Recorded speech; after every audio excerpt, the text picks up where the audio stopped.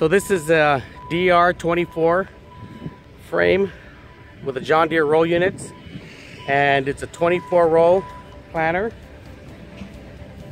Has an AgXcel system on it.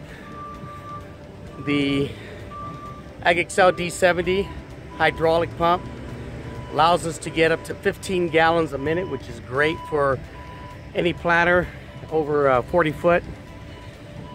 Has our floating ball manifold on there. Now I'll get a little close up on how this uh, is connected. The nice thing about our hydraulic system is that if you are limited on hydraulic resources, this valve is very, very resourceful, so it doesn't use a lot of hydraulic fluid. Especially when you get to the end of the row and you got to lift your roll units up, our hydraulic valve will stop utilizing hydraulic fluid, therefore allows you to use all of your hydraulic fluid and not waste any on, on our system. So it's a dual diaphragm pump. We have is lots, uh, a uh, couple of ones a little bit smaller and then lot much larger for those high volume applications.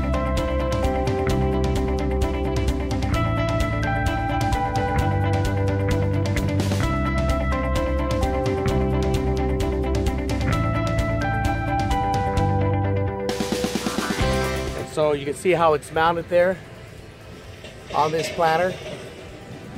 Does a really, really good job of drawing. It can has a good capabilities for drawing liquid from uh, far distances and so this won't have, even though the tank is close, even if the tank was on the tractor, this pump can definitely draw that type of uh, liquid at that distance.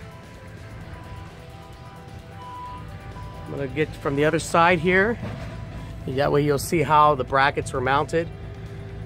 This is our universal bracket here that allows it to be mounted pretty much on any type of a toolbar and then it gets positioned specifically which angle or degree that you'd like to have it mounted.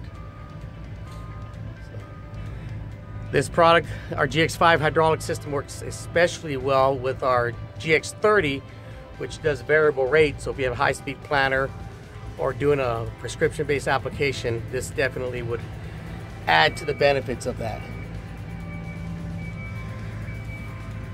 Coming out on the rows. This is where they mounted the manifolds.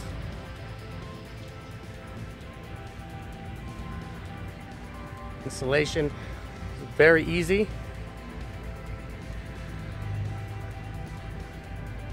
Works really good simple to install and very efficient.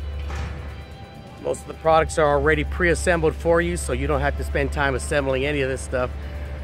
Hydraulic motor comes all pre-assembled. Everything the way you see it, you just mount it, integrate it into your Greenstar, Trimble, Ag Leader, Raven, or our own controller.